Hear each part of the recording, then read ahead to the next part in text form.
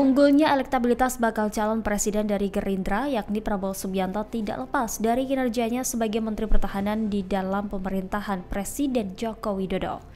Peneliti indikator politik Indonesia Bawono Kumoro menyebut Prabowo Subianto menjadi figur baca pres yang paling menonjol di Pilpres 2024 ketimbang dua baca pres lainnya yakni Ganjar Pranowo dan Anies Baswedan.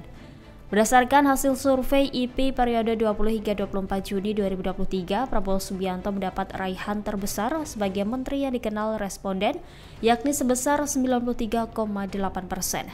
Sedangkan responden yang merasa puas dengan kinerja Prabowo Subianto berada di angka 91,7 persen.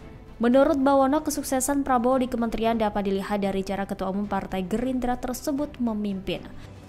Prabowo dinilai cukup menonjol dalam bekerja dan berhasil memperkuat sektor keamanan dan pertahanan negara seperti meningkatkan alutsista.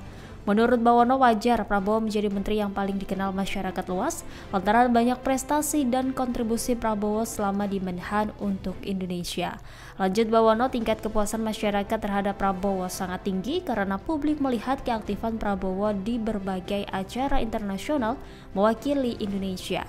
Banyak terobosan yang dilakukannya, mulai dari bertemu dengan panglima militer negara-negara Eropa hingga menghadirkan alat utama sistem persenjataan untuk Indonesia. Indonesia.